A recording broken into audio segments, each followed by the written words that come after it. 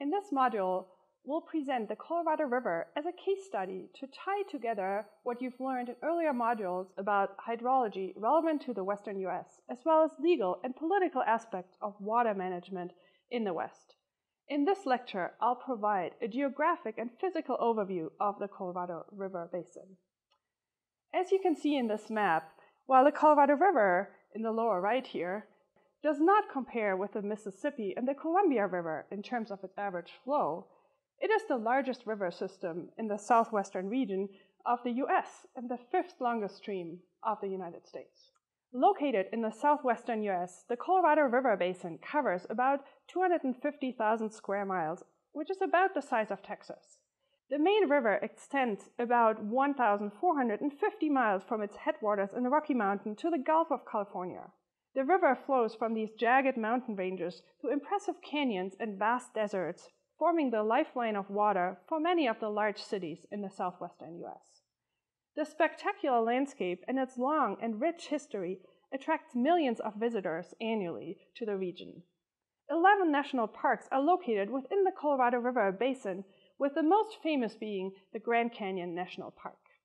4.5 million visitors come to the Grand Canyon alone each year, including about 25,000 who boat sections of the Colorado River within the canyon with its famous whitewater rapids. Nearly all the water in the Colorado River comes from the deep snowpack in the mountain headwaters in Colorado, Utah, and Wyoming. Once the river leaves these headwaters, it flows through mostly arid landscape that receives as little as three inches of precipitation per year.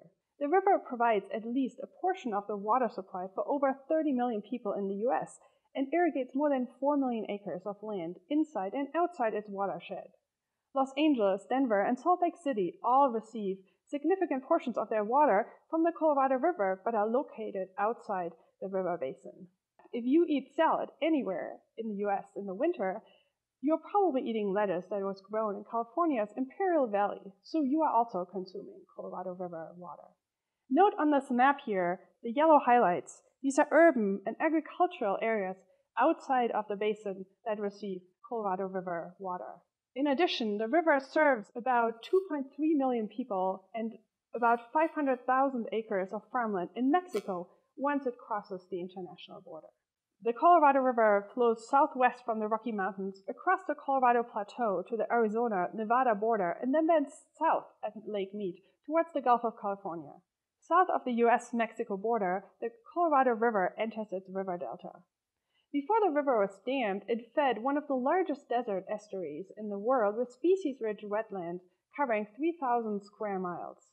Today, the estuary is only about 1% of its original size, and the river's flow usually stops about 100 miles from its mouth.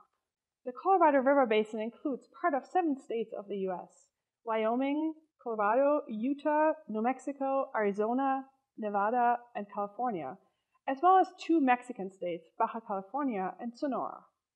The Colorado River Basin is home to many Indian reservations and other tribal lands, as you can see in this map. For water management purposes, the Colorado River Basin is divided into an upper basin and a lower basin. As you can see on this next map here, you can see the upper and the lower basin. The dividing line between the two basins ran through Lee's Ferry, an important river crossing point since the mid 1800s, just downstream from Lake Powell. Lee's Ferry is the accounting point for the basin at which the main allocation of the river's flow between the upper and the lower basin is measured. The Colorado River is intensively managed with the flow of water controlled by 15 dams on the main stem of the Colorado River and many more on its tributaries. The Glen Canyon Dam with Lake Powell is the largest dam and reservoir on the upper Colorado River, providing important water storage in the upper basin.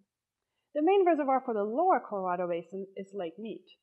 Altogether, the reservoirs along the Colorado River can hold approximately four times the annual flow of the river, which is an impressive amount of water. Extensive aqueducts and canals divert and transport water from the river to fields and cities in cases hundreds of miles beyond the physical watershed. The dams of the Colorado River are critical sources of hydropower for the southwestern U.S., generating over 12 billion kilowatt hours of hydropower annually and providing more than 30 million residents with at least a portion of their electricity. It is believed that the Colorado River is the most studied, dammed, and litigated river in the U.S.